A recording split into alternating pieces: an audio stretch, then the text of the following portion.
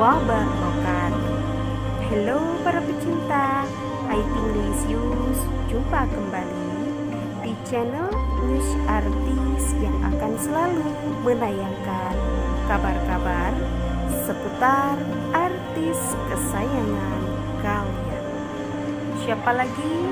Kalau bukan si cantik Ayu Ting Namun sebelum kita lanjut dan simak baik-baik agar tidak terjadi kesalahpahaman. Ayu Ting Ting disebut calon pengantin. Abdul Razak segera punya menantu. Ayu Ting Ting bersama keluarga mengunjungi butik busana pengantin. Sang biduan terlihat sedang diukur badannya oleh salah satu orang di sana. Saat aktivitas itu tengah berlangsung, seorang pria mengarahkan kamera ke Ayu Ting Ting.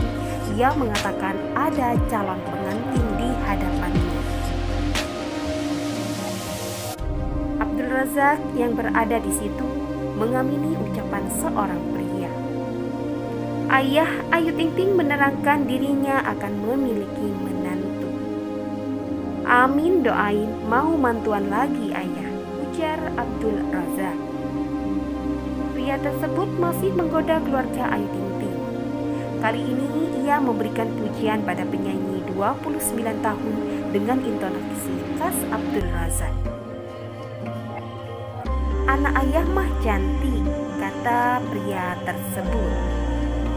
Abdul Razak lantas menimpali dengan gaya cantik, badannya juga bagus. Sebelumnya, Ting Ting juga digadang-gadang melepas status janda. Ini bermula saat pelantun Sambalado tersebut bertemu dengan tim wedding organizer.